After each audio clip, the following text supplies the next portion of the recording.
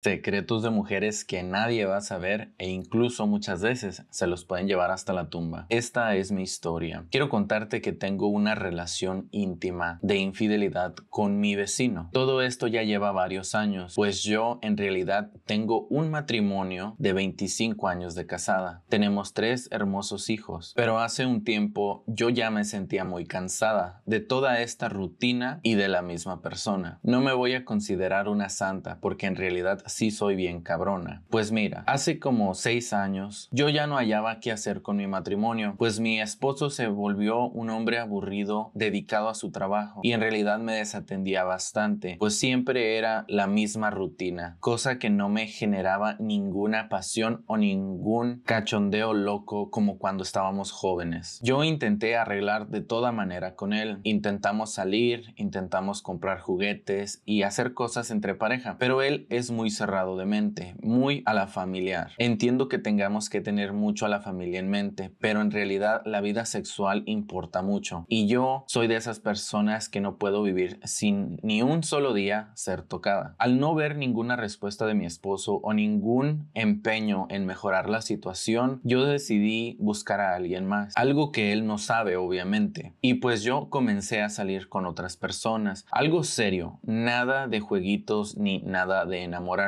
yo soy una mujer madura, una mujer que sabe lo que quiere, una persona que no está para perder el tiempo. Voy directa al grano. No me gusta enredarme con juegos ni nada de eso de niños de 15 años. Yo directamente en unos cuantos mensajes les decía que yo estaba casada y solamente los quería para una diversión. Llevo la mayoría de estos seis años haciendo lo mismo, pero hace unos meses creo que ya encontré al muchacho perfecto, con el que quiero quedarme para jugar y divertirme cuando se me dé la gana. Este muchacho es mi vecino. Él tiene tiempo viviendo aquí, pero yo no había tenido la oportunidad de conocerlo, pues son varios hombres los que viven en esa casa. Y un día, al salir de mi casa para ir a comprar el mandado, le pedí de favor que si podía cortar mi yarda, pues él estaba haciendo la de la casa de un lado. Cuando yo regresé, lo miré ahí limpiando su herramienta y teniendo todo listo para que yo para cuando yo llegara. Me estuve platicando ahí afuera con él para conocerlo un poco y pues yo en realidad no sabía que era mi vecino hasta que él me lo contó. En ese momento yo pensé que era perfecto el tener a una persona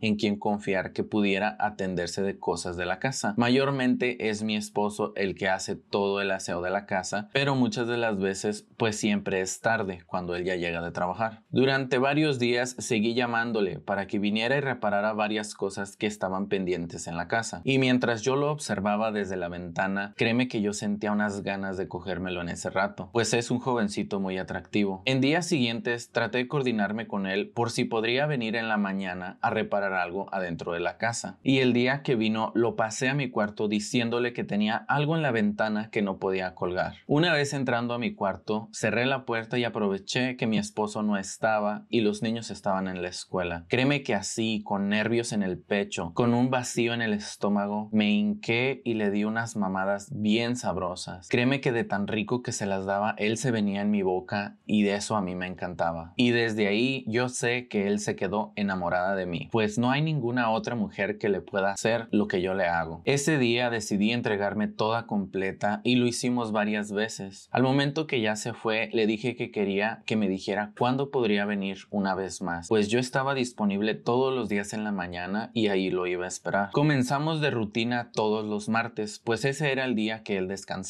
pero poco a poco me empecé a fastidiar y yo lo quería y lo deseaba aún más. Por más que yo lo quería a diario, él no podía, pues su trabajo también era en la mañana. Al tiempo después lo convencí en que se cambiara de trabajo y ahora descansa todas las mañanas. Él ya trabaja pocas horas y eso a mí me encanta. De igual manera, yo también de vez en cuando le compro sus regalitos, pues es un muchacho, está joven, a lo mucho tiene 25 años, de Meritito Durango. Y mientras yo no tenga visitas o tenga cosas que hacer, él está aquí en la casa en las mañanas, llenándome de leche toda completita. Muchas de las veces nos ponemos hasta a ver películas aquí en la casa.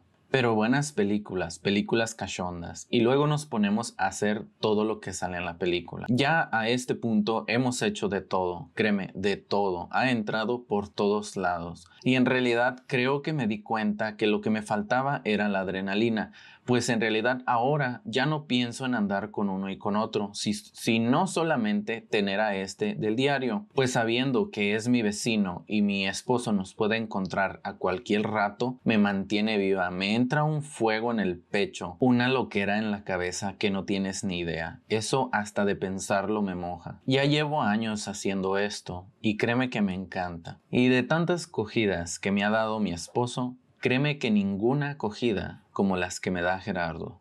Me imagino que así se llama el muchacho. Pero bueno, pues ¿qué te puedo decir mujer? Es tu vecino y obviamente tú eres una mujer más grande. No me sorprendería escuchar que te cachan al rato.